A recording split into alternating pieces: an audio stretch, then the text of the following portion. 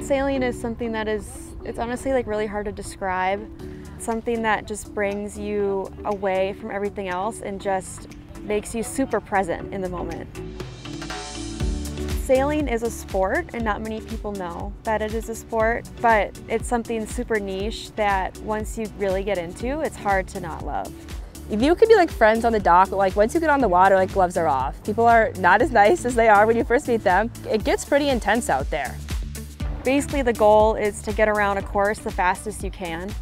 Think about it like a football field that is different every single time that you're playing the game and it's changing 24-7 and you never know what's going to happen next.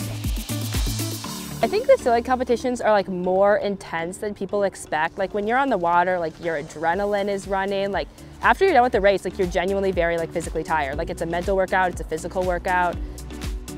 When I came to St. Thomas, I didn't know that I would be starting a whole club. I didn't know that I would like literally make a club to find my best friends that I have now. There's something super special about getting to come after classes and like hang out on the lake and we always sail when the sun is setting. And I just like love getting to do something that I'm passionate about with some of my really good friends. It's just, there's nothing better.